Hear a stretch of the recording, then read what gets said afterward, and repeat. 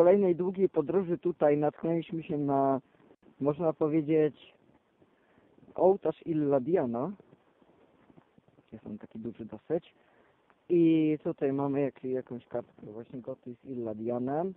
I tutaj napisane jest Illadian i jest całe. Jest tutaj napisane Illadian i tam jest spodek tam, tam, tam. No i właśnie nie wiemy co tutaj będzie, co mamy tutaj robić, bo sobie tak idziemy widzimy ołtarz, no to, no to trzeba nagrać, tak, bo coś jest nie tak. No i właśnie tutaj nic nie ma, oprócz paru takich, tam jest Illuminati dziwne, właśnie. Nie wiem, o co- o co chodzi. Tu jest pusto. Co to jest? O nie! Bo o tak, nie wiem.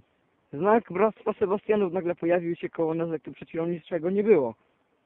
Wytyfy, tu się jakieś paranormalne dzieją rzeczy. Serio. Co to jest? No to jest ewidentnie odwrócone Illuminati z odpowiednimi kreskami.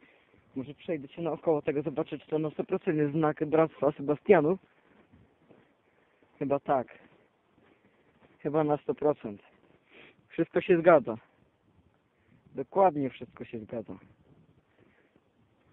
Masakra.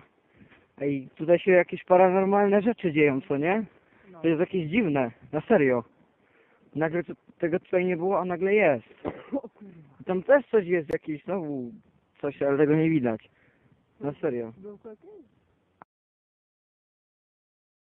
Przed chwilą znalazłem takie oto coś. To jest y, stara wyrzutnia rakiet. Y, Ona jest chyba już pusta, tylko jest jeszcze dosyć ciężka. Czarny kot. Tak, czarny kot. Zobaczymy ją w żeby się nie przed chwilą e, był trochę fail, bo filmik się nie nagrał. No, dokładnie. Przez przybliżenie i oddalanie, no. Dokładnie. I to właśnie przed chwilą ją przyniosłem. Ups, bo się ołtarz coś się psuje.